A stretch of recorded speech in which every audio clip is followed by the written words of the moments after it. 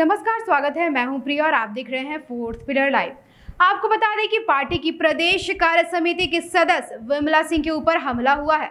घटना समस्तीपुर ज़िले के सदर अनुमंडल क्षेत्र के मुफसिल थाना क्षेत्र के समस्तीपुर ताजपुर मुख्य सड़क पर जंग चौक के पास की है।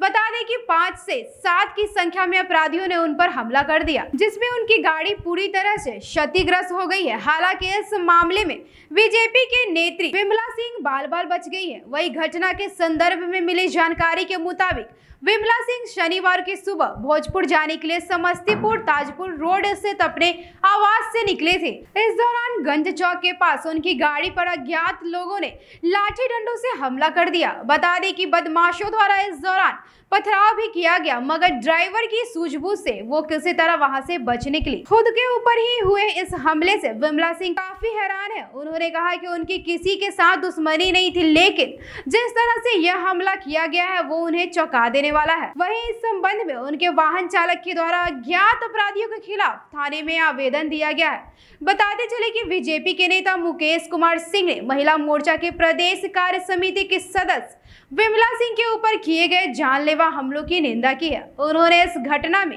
शामिल अपराधियों की शीघ्र गिरफ्तारी की मांग भी की है। ऐसे ही खबरें देखने के लिए बने रहे हमारे साथ और देखते रहे हमारे चैनल फोर्थ पिलर लाइव को।